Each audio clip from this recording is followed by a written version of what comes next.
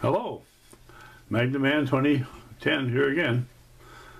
Uh, I've been watching Lidmotor and a few other guys making these what they're calling uh, pickle cells. uh, lead and uh, alum mixed together. So I had to give that a try and I thought I'd share my results with you folks. Uh, what I did is I went to uh, I found a sheet metal shop that had a roll of sheet lead and I had them cut me off a piece about four inches wide and 36 inches long.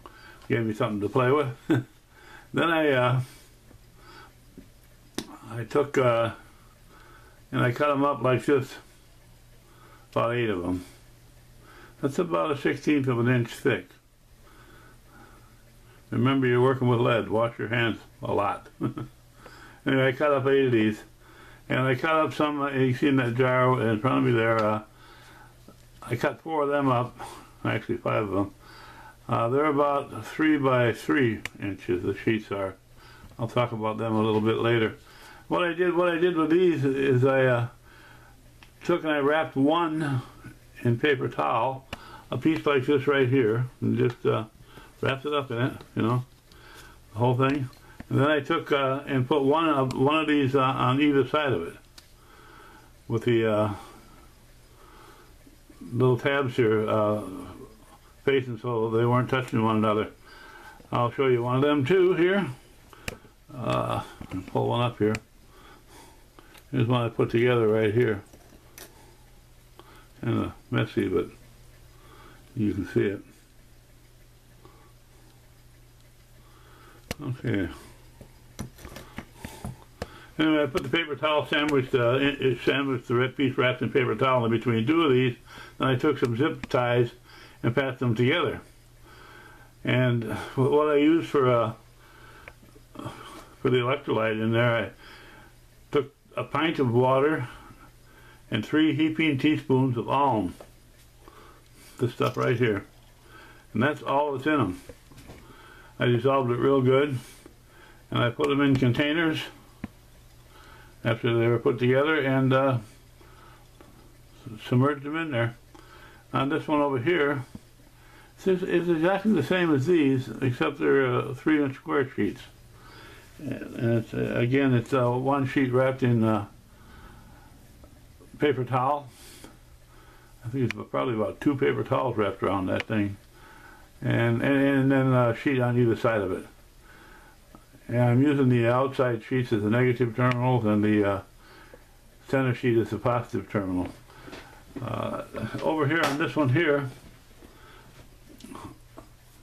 basically the same, except I use two sheets with a paper towel in between them. And I bent them so they're uh, crescent shaped. They fit inside the jar nicely that way. And uh, I fastened them together uh, before I put them in the jar with a couple of zip ties. And that one there I used uh, Epsom salts. For a pint of water I put in 10 heaping tablespoons of Epsom salt. Dissolved it very uh, well first. And that we'll get back to later too on how it worked out. Uh, I took uh, two of them, like this, these two up here, and what I did with them is I soaked them in that solution for about three days.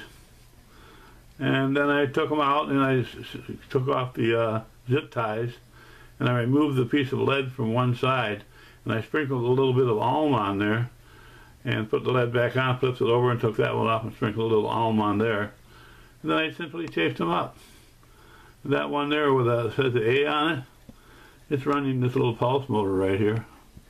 You see that all right? It's been running this for a couple hours now. It'll run it for a long time, believe me. Anyway, I'll start out with uh, these two up here on how they worked out, okay? That number one and two there, I call them, uh, I had them hooked in parallel. They're not hooked in parallel right now, and one of them is running that uh, little pulse motor there. But anyway, I had them hooked in parallel when I, parallel when I did the test.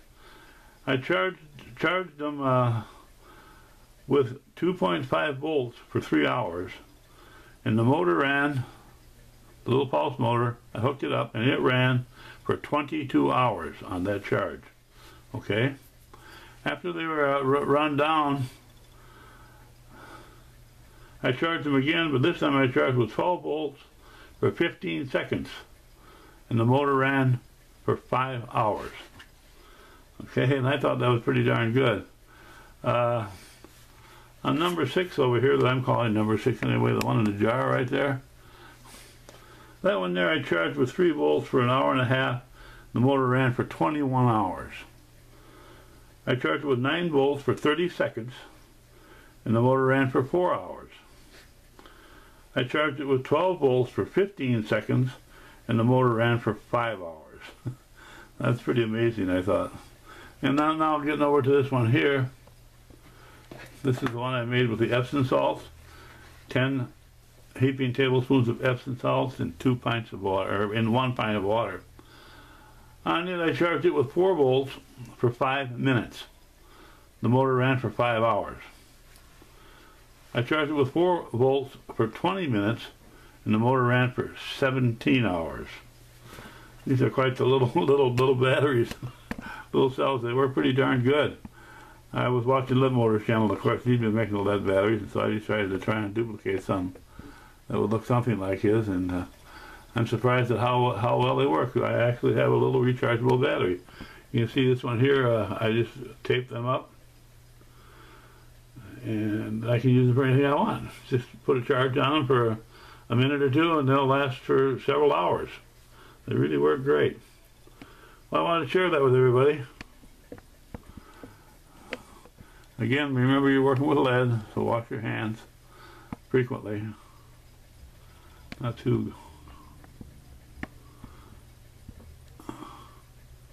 You can see they're working pretty good. I can find them. I got this new camera and I have it on a tripod and I'm moving it around. I'll uh, see if I can zoom in on one once here. Ooh, zooming out little motor here. It's running great. This one here is too. I'll give you another look at these uh, batteries here. See if I can show you one exactly how I made it a little better without dripping all over the place here. You can see that all right. Just some zip locks, zip size three pieces. Oop. I keep losing the thing. there it is. Pretty simple, but it works really neat. Pretty, pretty, pretty amazing. I was really surprised at how long they uh, they'll run on a small charge. I, haven't really put a real long charge on one, but but uh, running 17 hours. uh, on hardly no charge, you know, just uh, this one here was a 20 minute charge with 4 volts and it ran 20, uh, 17 hours. This one right here, right there. Well, anyway, I just thought I'd share that with you. Thanks very much for watching.